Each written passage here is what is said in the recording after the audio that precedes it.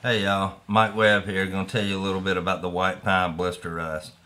The white pine blister rust was introduced from Asia in the early 1900s and it causes swollen cankers that eventually girdle the entire branches or stems resulting in tree death. White pine blister rust is the most important disease of eastern white pine in the United States. The disease is most severe in seedlings and saplings, but mature trees are also susceptible to it. The white pine blister rust fungus requires an alternate host to complete its life cycle. The hosts are all five needle pines, but in North Carolina, eastern white pine is the only native susceptible pine species. Some of the symptoms for this are small yellow or red needle spots that usually are present on the needles at the point of the infection but are difficult to see. Rough diamond-shaped cankers develop a few years after the infection. Cankers may be found on the branches or main stem. The first symptoms observed are usually individual flagging branches killed by the cankers.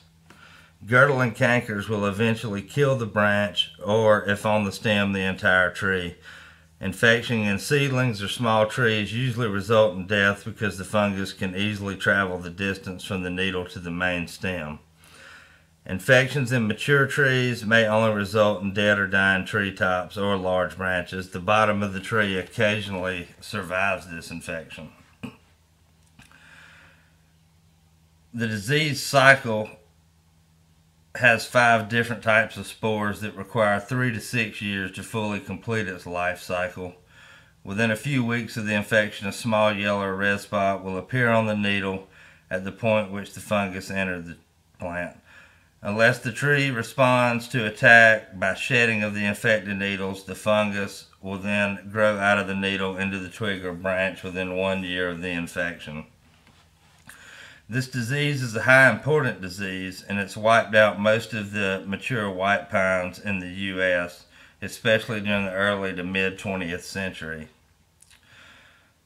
Resistant white pine seedlings are available but eradication of white pine blister is not effective and is no longer practiced.